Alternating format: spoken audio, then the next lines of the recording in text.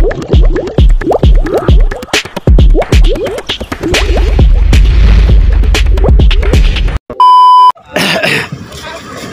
isa magandang umaga sa inyo mga kaigops. So may nakahuli ngayon ng bultuhan dito sa Baler Aurora. so ayan oh. Bali bangka ng ASEAN. Ayan, tingnan nyo mga kaigops kung ilang tao ang nakakuha niyan. Bubuhat.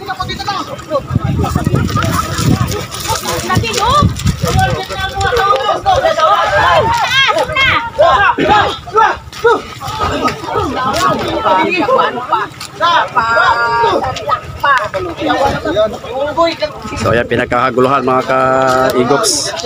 Bali ang biyahe niyan is sa, kuwan, sa Malabon.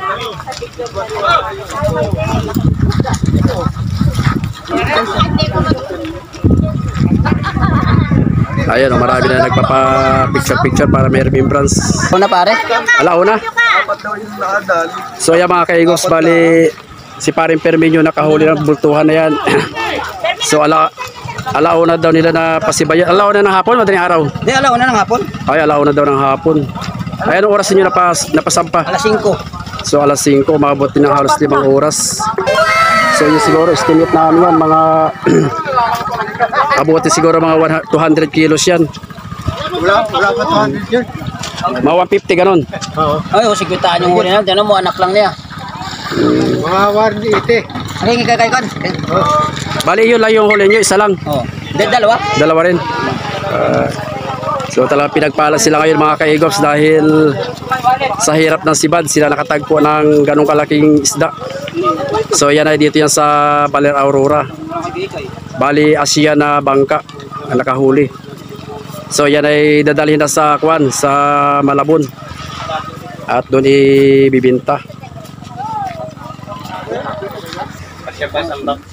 So yan, estimated siguro yan mga ka-AGOPS, mga 200 kilos ito. O 180 ganyan. Pero di bababa siguro sa 200 kilos yan. Laki. So yan. Parang buntis sa marami. Bali dito lang yan sa Aurora. Limang oras nila hinila yan. Sobrang laki. So yan bali yan yung bangkang nakahuli yan yung ASEAN. Ah, apat sila nasakay dyan sa bangka nila. Bali ang huli nila ay dalawang piraso. Isa, isa nga yung kwan, bultuhan. Tapos yung isa na sa so mga 50 din pala yung huli nilang isa. So mga kaigops, panahon na ng dito ngayon sa Aurora. Hanggang October na yan, pagpapasok na yung amihan. So, ayan yung makikita nyo mga malaking isda na nahuhuli dito sa lugar namin. So, bali ito ay ipapasabay na rin natin sa biyahe ngayon. Itong huli namin. Isa 50 kilos din siguro ito. Sa isang barakuda.